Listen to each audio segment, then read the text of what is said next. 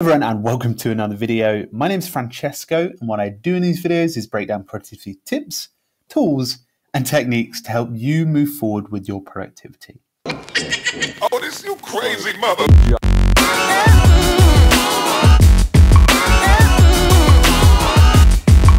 So what I want to do specifically in this session is go over something that uh, I mean I've been talking about with a few people on Reddit and a few people on Twitter. And a lot of people have asked um, about how I use Todoist to organize my organize my holistical um, targets, my holistical goals. And obviously, I'm not talking here about the you know about me being someone who organizes himself really well because I've said previously, you know, this productivity app um, channel is not about you learning how to be productive. It's about you understanding the tools, resources, and understanding all the functionality, case studies, uses for them to then replicate productivity on. Obviously, it's not all about the tools sometimes, so it's important just to understand that before we go into this. But I wanted to kind of reveal some of the ways I'm using this as a resource to organize everything like that.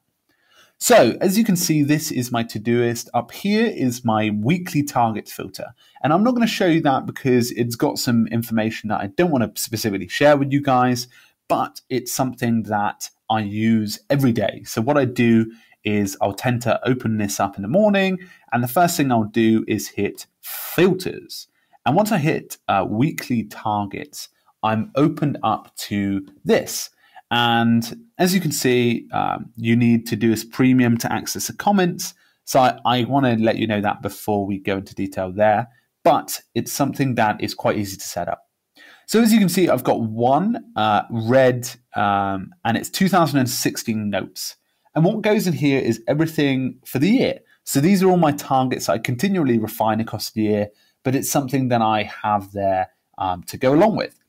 This is the secondary, this is my month target. So instead of having a three month target, I have a month target that directly correlates to 2016 and it also is the whole month. And then I have weekly targets that allow me to look at that week holistically too. So as I mentioned, I won't go into detail on each specific one, but what I do to get this up, and obviously, uh, you know, you could probably have this inside a specific thing or nested inside one of these uh, projects. But what I wanted to actually do is not have them here because I think that these should be more task, more, you know, information field. So what I've done is I've actually nested them all inside this large sub project. So up here, they're nested inside here.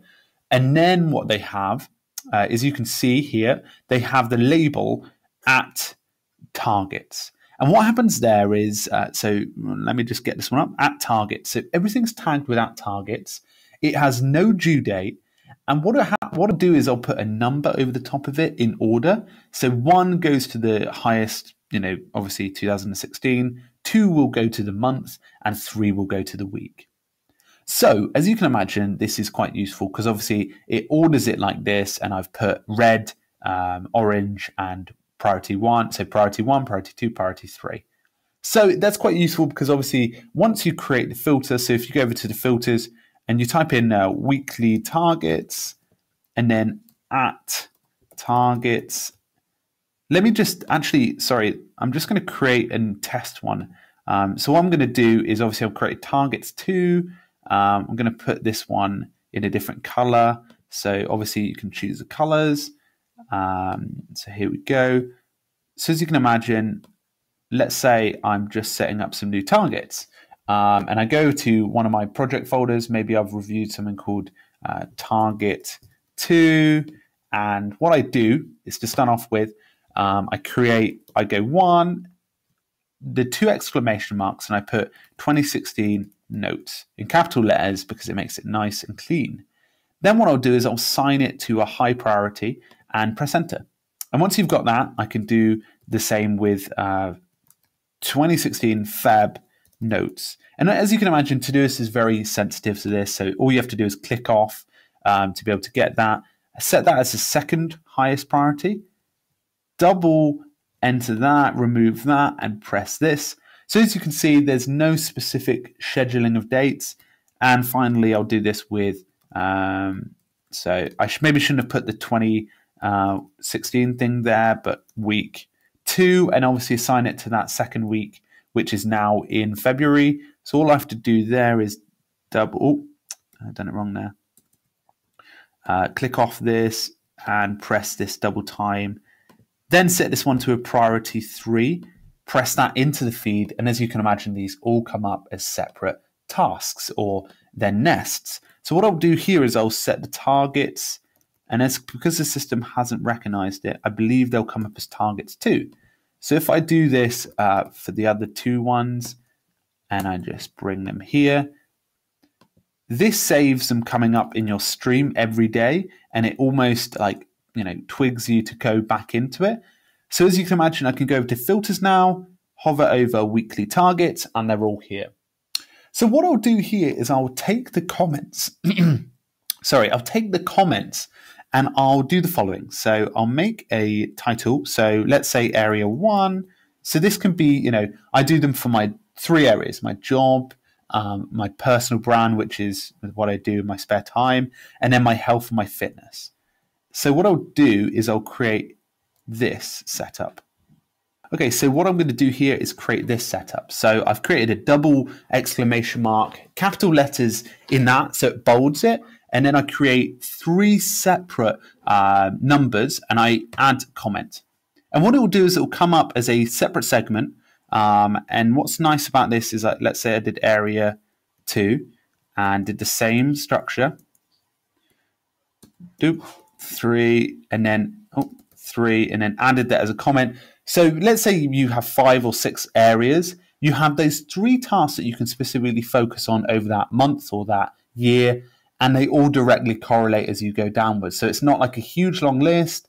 It's something very simple, very simplistic to be able to correlate each of the, the three depth of tasks. So as you can imagine, that um, GTD theory by David Allen of the 50,000 uh, feet rule uh, this is kind of your 50,000 feet. This is your like 30,000 feet, and this is your 10,000 feet. So it's a good way to kind of view your um, thing. And it's an easy way to actually visualize when you're seeing this. So one thing I'm going to show you here is when you type in, let's say I just edited some of my the, the tasks that were in here because obviously things change. As you can see in Todoist, the comments give you timestamps. So you can see that one was updated a minute after those two this is really beneficial because you can see specifically when you changed it and when you made a difference to that specific thing. So that's quite beneficial. So as you can imagine, what happens is you get three indicators here. You can see three way down and you can visualize all of your tasks quite easily. So I'll go in in the morning and what I'll tend to do is I'll go, uh, okay, this is my year's goals, right? Yep, do my February week two notes actually correlate directly to those to one, the February notes, and two, the 2016 notes. So it's really beneficial to keep constantly monitoring. And what I'll tend to do as well is because I've got my work uh, stuff here and obviously my personal stuff, I can actually go into this as the first point of call a day.